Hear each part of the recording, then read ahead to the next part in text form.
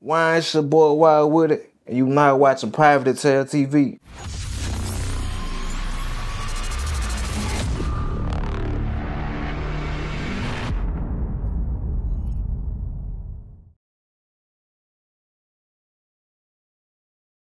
Man, my first, I know I wrote my first rap when I was uh, eight, but the first song I really recorded, I think it was me and my big cousin, uh, somebody else.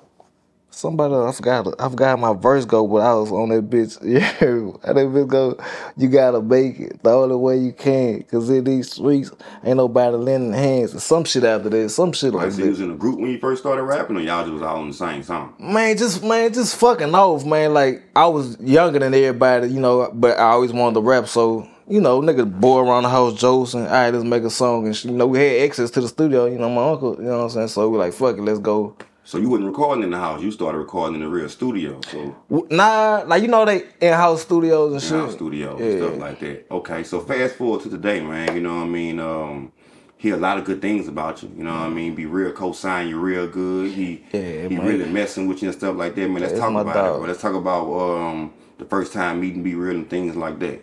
Man, before I actually met him in person, he was um in in Atlanta with my uh, people fucking with Fat and all them. Um, I had a little song I recorded myself out there. He say he um asked my cousin like, who the fuck is that little dude, man? Y'all ain't y'all ain't saying what what what. But that was our first encounter and when I, when he finally put my face together, like we been click click ever since. And like, damn, like bitch, you gotta, you know what I'm saying? Okay, so how I feel working with one of the well, the number one producer in Louisiana.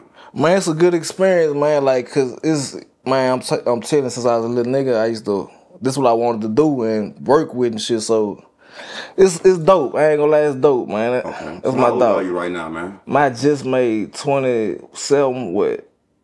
June 11. June 11. June Few- 11? Yeah, a couple days. Well, a couple months ago.